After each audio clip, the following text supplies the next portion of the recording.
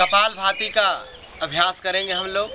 और हम आपसे प्रार्थना करना चाहते हैं कि पूरे मन लगा करके ध्यान के साथ में अनुष्ठान पूजा की तरह जब हम प्राणायाम का अभ्यास करते हैं और हमारे विचारों में शुभ शुभ हमारे कर्मों में, हमारे इंद्रियों के साथ जो भी कर्म होते हैं प्रतिपल, उसमें हम हमेशा यही प्रार्थना करते हैं, परमात्मा से कि हे परमात्मा, मेरे द्वारा कभी भी ना अशुभ शब्द निकले, ना अशुभ कर्म हो। और ना अशुभ विचार हमारे उत्पन्न हो। इसलिए अपने शरीर को शुद्ध करते हुए, अपने विचारों को पवित्र करते हुए हम योग की यात्रा की शुरुआत करेंगे। तो हमारे बीच में कार्यक्रम का आयोजक आदरणीय धर्मेंद्र जी बैठे हुए हैं। हम चाहेंगे कि कपाल भाती, जो सर्वश्रेष्ठ प्राणायाम होता है दुनिया का, वो कैसे करते हैं, तरीका पहले बताएँगे करने का, उसके बाद में फिर फ़ायदा बताएँगे और हम लोग प्रैक्टिस भी करते रहेंगे। तो आइए चलते हैं धर्मेंद्र जी के पास।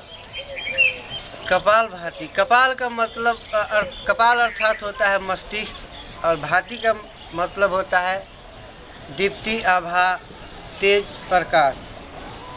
इस प्राणायाम में केवल सांसों को छोड़ना है और नाभि के नीचे झटका मारना है और केवल सांसों को छोड़ना है। लेने का प्रयास नहीं कीजिएगा केवल छोड़ना है। करते रहिए। और इनके द्वारा लाभ जो मिलता है, उनका भी हम श्रवण करते रहेंगे। ऐसा करते हुए स्वाभाविक रूप से पेट में अकुंचन और प्रसारण की क्रिया होती है।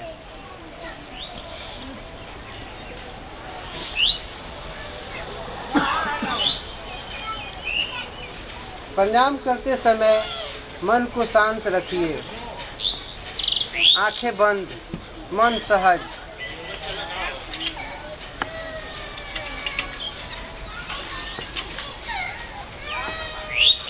बिल्कुल ध्यान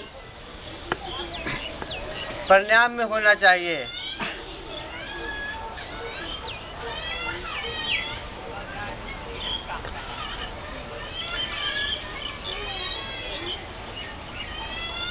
मैं बार बार यही कहूँगा प्राणायाम करते समय आँखें बंद रखिए, मन सहज।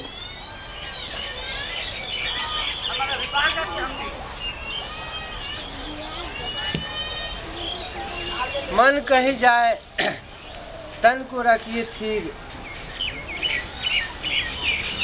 ये मन ऐसा है कि घूमने का प्रयास करता है, मगर फिर आपके शरीर में ही आता है। ये दूसरे जगह रह ही नहीं सकता।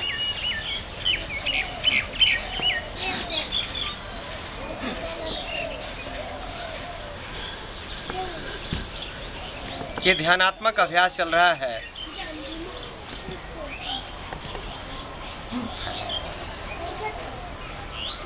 ये सबसे फ़ायदा मोटे मोटे आदमियों को 100 परसेंट गारंटी के साथ आप एक महीना लगातार कपाल भाती कर दीजिए, बिल्कुल आपका शरीर सौलित हो जाएगा।